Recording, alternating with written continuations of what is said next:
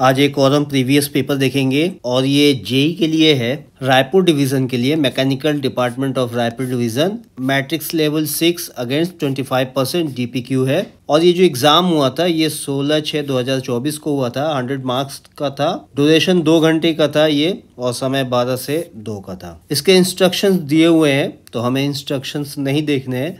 हम सीधा चलेंगे अपने सवाल पे और उनके ऑप्शंस देखेंगे कि कौन कौन से सवाल के कौन कौन से ऑप्शन सही हैं। तो पहला हमारा सवाल है, एक रेलवे महिला कर्मचारी मातृत्व अवकाश की हकदार है। कितने दिनों की मातृत्व अवकाश की हकदार है? रेलवे महिला कर्मचारी। तो इसका राइट आंसर हो जाएगा यहाँ पर डी 180 दिन। 180 दिन मिलता है किसी भी रेलवे महिला कर्मचारी को मातृत्व अवकाश। अगला सवाल सवाल नंबर दो। रेलवे कर्मचारी को एक बार में अधिकतम औसत वेतन अवकाश कितने दिनों का स्वीकृत किया जाता है? यहाँ पे एल की बात हो रही है कि एक बार में एक रेल एम्प्लॉय को कितने दिन की एल स्वीकृत की जा सकती है? तो इसका आंसर होगा डी, यहाँ पे सी 180 दिन। अगला सवाल सवाल नंबर तीन। यात्रा भंग करने की अनुमति नहीं है। यदि स्थानांतरण पास यानी transfer pass, school pass settlement pass और पोस्ट सेवानिवृत्त पास इनमें से कौन से ऐसी पास है जिसमें हमें जो ब्रेक जर्नी करते हैं, उसकी परमिशन नहीं है? तो देखिए, सबसे पहले मैं आपको बता दूँ, जो ब्रेक जर्नी होता है, अगर आप 500 किलोमीटर से कम की यात्रा करते हैं तो आपको ब्रेक जर्नी नहीं मिलता है। और 500 किलोमीटर से ज़्यादा और 1000 किलोमीटर से कम आप अगर यात्रा करते हैं तो आपको एक ब्रेक जर्नी मिलता है। और अगर आपकी यात्रा 1000 किलोमीटर से ज़्यादा है तो आप उसमें अधिकतम दो ब्रेक जर्नी ले सकते हैं। तो यहाँ पे इसका राइट आंसर हो जाएगा सेटलमेंट पास जो सेटलमेंट पास होता है, इसमें हमें यात्रा भंग यानी ब्रेक जर्नी की परमिशन नहीं होती है। चलिए अगला सवाल, चार, अनुशासन एवं अपील प्रक्रिया में मेजर पेनाल्टी में किस मानक स्तर का फॉर्म जारी किया जाता है? इसका राइट आंसर हो जाएगा C S F five S F five जो है, ये मेजर में मेजर पेनल्टी के लिए होता है और जो एस एफ़ एलेवन होता है, वो माइनर के लिए होता है। तो हमारा राइट आंसर सी होगा एस एफ़ फाइव अगला सवाल, डिम निलंबन के लिए किस मानक फॉर्म का उपयोग किया जाता है? तो इसका राइट आंसर हो जाएगा सी एस एफ़ टू देखिए, डिम निलंबन क्या होता है? अगर कोई रेल कर्मचारी 48 घंटे से अधिक हिरासत में रहे तो उसको डिम निलंबन मान लिया जाता है और इसमें एस एफ़ टू चार्जशीट दी जाती है। अगला सवाल, जब किसी रेल कर्मचारी को निलंबन में रखा जाता है परंतु केवल लघु शासित पत्र जारी किया जाता है तो निलंबन अवधि क्या होती है? तो ये होती है राइट आंसर रहेगा सी ड्यूटी चलिए अगला सवाल। सवाल नंबर सात। एक रेल कर्मचारी को डिम्ड सस्पेंशन में रखा जाता है, अगर वो पुलिस संरक्षा में रहता है। ऊपर मैंने बताया 48 घंटे से अधिक अगर आप पुलिस संरक्षण में अगर कोई भी रेल कर्मचारी रहता है तो वो डिम्ड सस्पेंशन के अंडर में आ जाता है। तो इसका राइट आंसर होगा यहाँ पे बी 48 आवर से अधिक। अगला सवाल सवाल नंबर आठ, निम्न में से कौन सा डी एंड ए रूल के तहत दंड में नहीं आता है? निंदा, चेतावनी, पास बंद करना, पीटीओ बंद करना। तो ये इसका राइट आंसर हो जाएगा सी पास बंद करना। ये पास बंद करना जो है, ये दंड में नहीं आता है। अगला सवाल सवाल नंबर नौ एक्स पार्टी इंक्वायरी कब किया जाना चाहिए? तो राइट आंसर हो जाएगा इसका ए को सीओ उपस्थित ना होने पे। सीओ डज नॉट अपेयर अगला सवाल सवाल नंबर दस ग्रुप सी कर्मचारी 20 वर्ष सेवा या उससे अधिक, परंतु 25 वर्ष से कम सेवा से सेवानिवृत्त होने पर किस दर्जे से पोस्ट सेवानिवृत्त पास का पात्र होगा। यानी ग्रुप सी कर्मचारी अगर 20 वर्ष की उसकी सेवा कंप्लीट हो जाती है, लेकिन 25 वर्ष से उसकी सेवा कम रहती है, यानी 20 साल से 25 साल की सेवा के बीच में अगर वो सेवानिवृत्त हो जाता है तो उसको कौन सा पास, कितना पास उसको मिलेगा? तो इसका राइट आंसर हो जाएगा यहाँ पे बी, दो सेट पर एनम यानी दो सेट प्रति वर्ष उसको पास मिलेगा। तो राइट आंसर हो जाएगा बी। अगला सवाल सवाल नंबर ग्यारह, निलंबन केस का पुनर्विचार किया जाता है। Review of suspension case is done. कितने दिनों के बाद? चार महीना बाद, तीन महीना बाद, दो महीना बाद या छः महीना बाद? तो राइट आंसर हो जाएगा इसका बी आफ्टर थ्री मंथ तीन महीने के बाद। अगला सवाल सवाल नंबर बारह डी ए आर नाइनटीन के किस नियम रूल के तहत जाँच अनिवार्य नहीं है? और इसका राइट आंसर हो जाएगा बी रूल फोर्टीन टू यानी नियम चौदह दो के अंतर्गत ये अनिवार्य नहीं है, जाँच अनिवार्य नहीं है। सवाल नंबर तेरह सेवा से अनिवार्य रूप से सेवानिवृत्त, निष्कासन अथवा बर्खास्त का दंड लागू निम्न में से कौन कर सकता है? नियंत्रण अधिकारी, अनुशासनिक पदाधिकारी, नियुक्ति पदाधिकारी या फिर कोई नहीं? तो देखिए, इसका राइट आंसर होगा यहाँ पे सी अपॉइंटिंग जो अथॉरिटी है, नियुक्ति पदाधिकारी है, वही ये इस दंड को लागू कर सकते हैं। चलिए, अगला सवाल। सवाल नंबर हमारा आ गया चौदह। ग्रुप सी एवं डी कर्मचारी को निलंबन के दौरान प्रदय किया जाता है। तीन सेट पास प्रतिवर्ष, दो सेट पास प्रतिवर्ष, एक सेट पास प्रतिवर्ष या फिर इनमें से कोई नहीं। तो राइट आंसर हो जाएगा इसका सी एक सेट पास प्रतिवर्ष वन सेट ऑफ़ पास पर कैलेंडर ईयर ये ग्रुप सी एंड डी कर्मचारी को निलंबन के दौरान होता है। चलिए अगला सवाल सवाल नंबर पंद्रह। निम्न में से किस ग्रुप में सी एन डब्ल्यू पार्ट्स आता है? तो ये सवाल जो है स्टोर से है, यानी कि जो स्टोर में जो ये आइटम हमारे जो सी एन डब्ल्यू के आइटम होते हैं, वो किसमें आते हैं? किस ग्रुप में आते हैं? तो ज़ीरो से ज़ीरो एट और वन ज़ीरो से नाइनटीन और ट्वेंटी वन से ट्वेंटी एट और लास्ट है थर्टी से थर्टी नाइन तो हमारा राइट आंसर होगा यहाँ पर डी थर्टी से थर्टी नाइन थर्टी से थर्टी नाइन के बीच में हमारा जो सी एन डब्ल्यू का पार्ट्स आता है, वो आता है. और ज़ीरो से ज़ीरो से ज़ीरो एट ये स्टीम इंजन के लिए है और यहाँ पे दस से उन्नीस की बात की जाए तो ये डीजल लोगों के लिए होता है और 21 से जो 28 है, ये इलेक्ट्रिक लोगों के लिए होता है। और बाकी 30 से उनचालीस थर्टी टू थर्टी नाइन ये होता है हमारे सी एन डब्ल्यू के लिए। तो ये बेसिकली स्टोर से जुड़ा हुआ सवाल है। अगला सवाल सवाल number 16 PL number two one zero seven four double one nine में नौ किसको सूचित करता है? यानी कोई किसी आइटम का पीएल नंबर है तो इस पीएल नंबर में जो नौ नंबर की संख्या है, ये क्या बताती है, किस चीज़ को सूचित करती है? तो यहाँ पे चार ऑप्शन है major heading sub group minor group और चेक डिजिट तो इसका राइट आंसर होगा यहाँ पर डी चेक डिजिट ये चेक डिजिट को सूचित करता है नौ। अगला सवाल सवाल नंबर है हमारा सत्रह। डेड स्टॉक कितने समय में सत्यापन होता है? डेड स्टॉक कितने समय में उसका सत्यापन किया जाता है? तो इसका राइट आंसर हो जाएगा एक वर्ष। सी एक साल में डेड स्टॉक का सत्यापन किया जाता है। अच्छा जो डेड स्टॉक होते हैं, देखिए, जो ऐसे सामान होते हैं, जो ऐसे स्टॉक होते हैं, जिनका पिछले 24 महीने में कभी इस्तेमाल नहीं किया गया है, उनको डेड स्टॉक कहा जाता है। तो डेड स्टॉक का सत्यापन एक साल में होता है। सवाल नंबर अठारह इम्प्रेस्ड स्टोर का स्टॉक कितने समय के अंतराल में सत्यापित किया जाता है? और इसका राइट आंसर हो जाएगा बी दो वर्ष। दो वर्ष के अंदर इनका सत्यापन किया जाता है इम्प्रेस्ड स्टोर का। चलिए, अगला सवाल सवाल नंबर उन्नीस चार्ज मेमोरेंडम का उत्तर सीओ द्वारा कितने दिनों में दिया जाना चाहिए? पंद्रह दिन, दस दिन, बीस दिन या इनमें से कोई नहीं? तो राइट आंसर हो जाएगा बी दस दिन। दस दिन के अंदर इसका उत्तर दिया जाना चाहिए सीईओ के द्वारा, चार्ज मेमोरेंडम में। अगला सवाल, बीस बीस नंबर, महिला डिब्बे का परिवहन कोड क्या है? और इसका राइट आंसर हो जाएगा सी वाई यानी जो लेडीज़ डब्बा होता है ट्रेन का कोच होता है, उसका जो कोड होता है, मैकेनिकल कोड, वो पूछा जा रहा है और राइट आंसर हो जाएगा वाई अगला सवाल सवाल नंबर ट्वेंटी वन, निरीक्षण गाड़ी, प्रशासनिक का परिवहन कोड क्या होता है? तो इसका परिवहन कोड होता है यहाँ पे आर ए इसका राइट आंसर हो जाएगा डी जो कि रेलवे के बड़े अधिकारी जो होते हैं, हाई लेवल के, टॉप लेवल के जो ऑफिसर होते हैं, उनके चलने के लिए जो एक कोच होता है, जिसको कि हम सलून भी कहते हैं, उसका ये कोड है और इसको हम कहते हैं आर ए अगला सवाल सवाल number twenty two, pantry car का परिवहन कोड क्या होता है? इसका राइट आंसर हो जाएगा यहाँ पे C W C B W C B pantry car का परिवहन कोड होता है। चलिए अगला सवाल।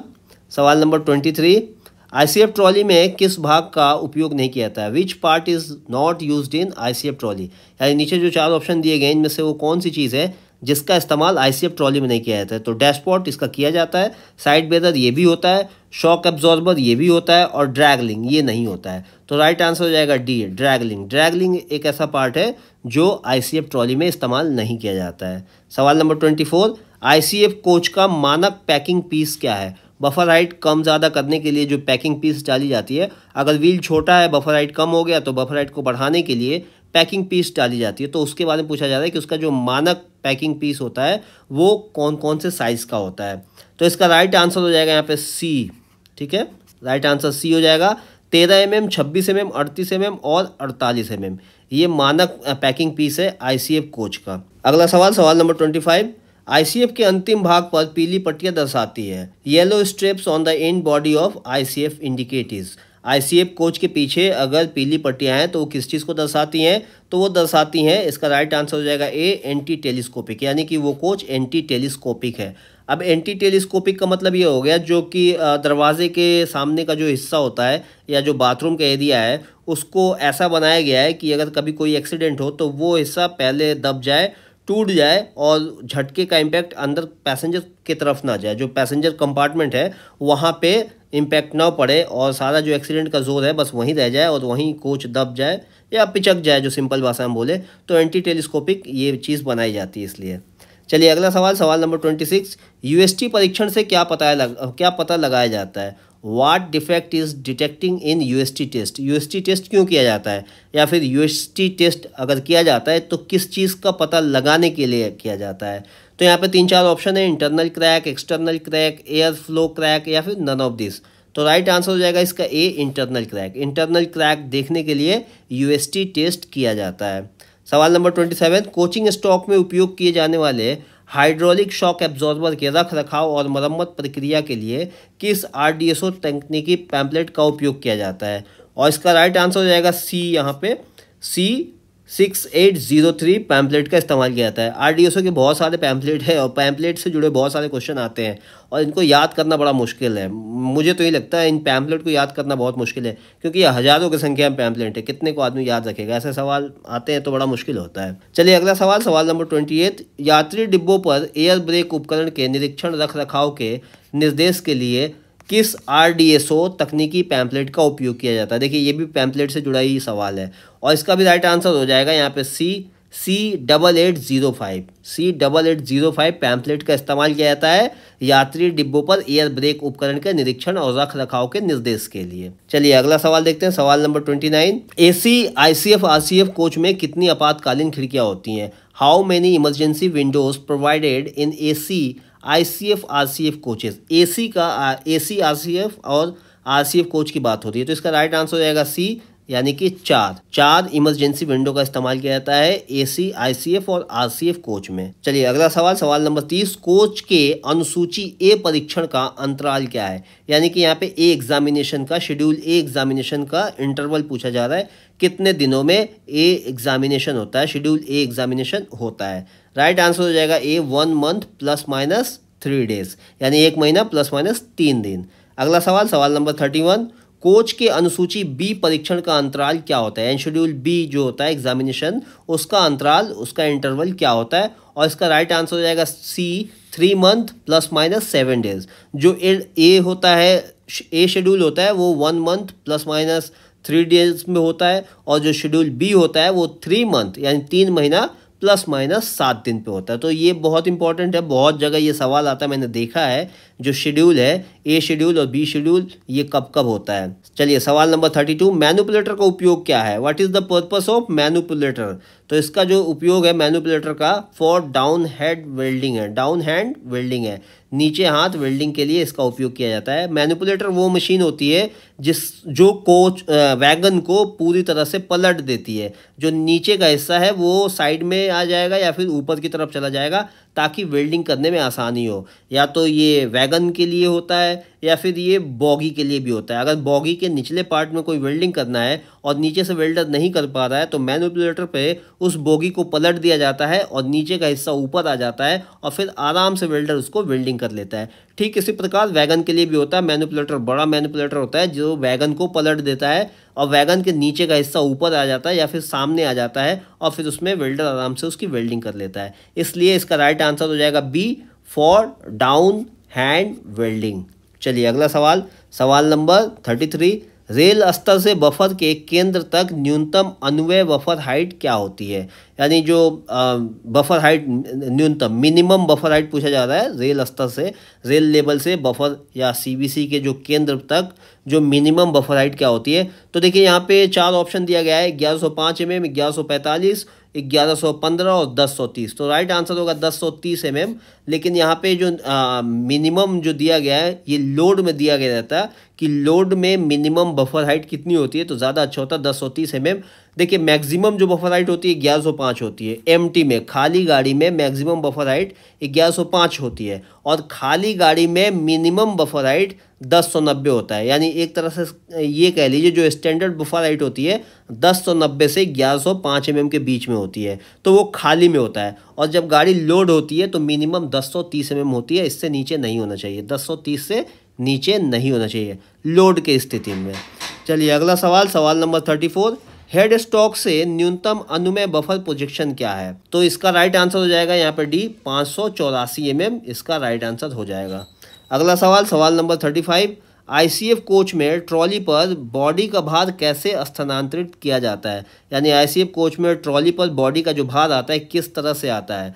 तो इसका राइट आंसर हो जाएगा C side barrel side barrel से सादा बॉडी का भाग बॉगी के ऊपर आता है आईसीएफ के अंदर. अगर गुड्स की बात करें तो गुड्स में जो बॉडी का भार आता है बॉगी पे, वो सीधा सेंटर पिवोट से आता है साइड बैरल से नहीं आता है. जबकि आईसीएफ कोच में साइड बैरल से आता है. अगला सवाल सवाल number thirty six L W L H bogie use in L W L H bogie का उपयोग निम्न में से किसमें किया जाता है? तो इसका राइट आंसर हो जाएगा यहाँ पे सी बॉक्सन एस में इसका इस्तेमाल किया जाता है. चलिए अगला सवाल सवाल नंबर थर्टी सेवन एक ही वीजी कोच पर चार भैया ट्राली के लिए व्हील ट्रेड व्यास में अनुमय भिन्नता कितनी होती है? टायर टर्निंग के समय। और इसका राइट आंसर हो जाएगा यहाँ पे डी तेरह एम एम ठीक है?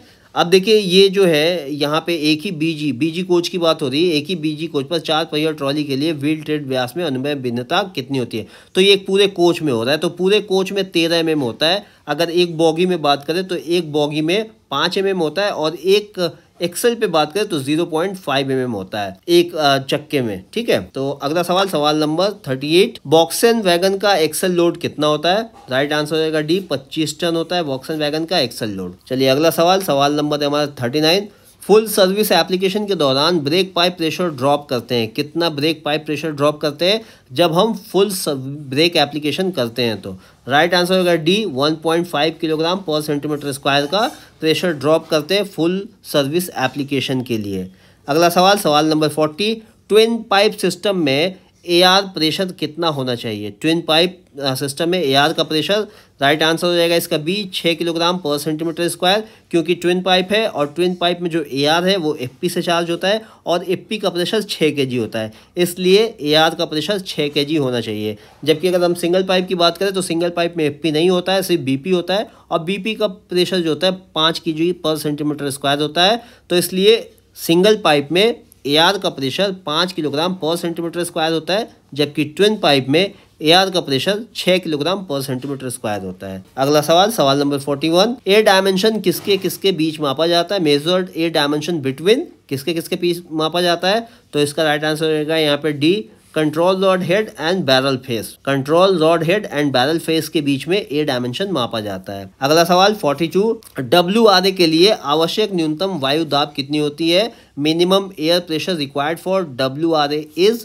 right answer हो जाएगा A zero point three five kilogram पर सेंटीमीटर स्क्वायर अगला सवाल सवाल number forty three L H B coach का राइडिंग इंडेक्स क्या होता है? राइट आंसर हो जाएगा सी 2.75 जो राइडिंग इंडेक्स का इंडेक्स है, ये कितना कंफर्ट है, उसके उसके लिए ये इंडेक्स होता है। यानी कोच में जो जर्नी की जाती है तो कितनी कंफर्टेबल है उसको बताने के लिए राइडिंग इंडेक्स का इस्तेमाल किया जाता है। तो एलएचबी कोच का जो राइडिंग इंडेक्स है 2.75 है। चलिए, अगला सवाल सवाल नंबर 44 एल कोच का डी वन शेड्यूल कार्यक्रम कितने समय बाद किया जाता है? और इसका राइट आंसर होगा सी एवरी ट्रिप जो डी वन होता है एवरी ट्रिप पे होता है। हर ट्रिप पे जब भी गाड़ी चल के आती है डी वन शेड्यूल किया जाता है। चलिए, अगला सवाल सवाल number forty five L coach का एस एस वन अनुरक्षण कार्यक्रम कितने समय बाद किया जाता है? इसका राइट आंसर हो जाएगा B one point five year डेढ़ साल में एस वन किया जाता है।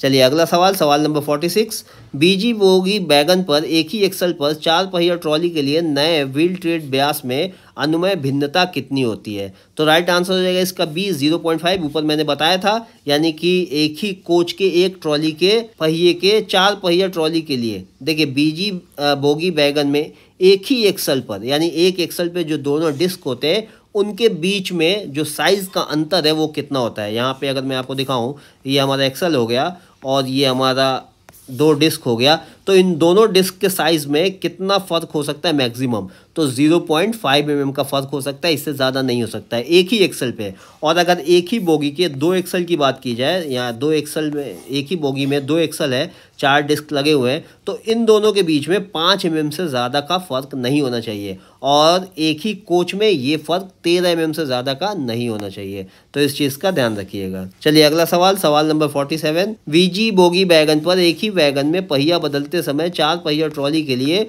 व्हील ट्रेड ब्यास में अनुमय भिन्नता कितनी होनी चाहिए? तो ये हो गया पच्चीस एम एम यहाँ पे थोड़ा सा फ़र्क हो जाता है वैगन और कोच में। वैगन में ये पच्चीस एम एम हो गया, जबकि ये कोचिंग गाड़ी में ये तेरह एम होता है। वैगन में जबकि ये पच्चीस एम हो जाता है एक वैगन के अंदर। चलिए अगला सवाल सवाल नंबर फोर्टी एट दुर्घटना, नियमावली में ट्रेन पार्टिंग किसमें आता है? In accident manual train parting is under किसमें आता है? तो ये आता है सी, जे फाइव क्लास के अंदर ये आता है ट्रेन पार्टिंग सवाल नंबर फोर्टी नाइन नवनिर्मित बीएलसी कंटेनर वैगन का प्रथम पीओच अवधि कितना है? यानी जो पहला पीओच होता है बीएलसी कंटेनर वैगन का, वो कितने साल पे, कितने दिन में या फिर कितने महीने में होता है? तो इसका राइट आंसर होगा सी छः साल के अंदर पहला पीओच होता है। सवाल नंबर पचास सी क्लास ओडीसी कब मूव किया जाता है? और इसका राइट आंसर रहेगा ए डे लाइट यानी कि डे लाइट के अंदर सी क्लास ओडीसी मूव किया जाता है। और जो ये ओडीसी होते हैं ये 25 के एम की स्पीड पे रहते हैं और ये स्कॉटिंग में चलते हैं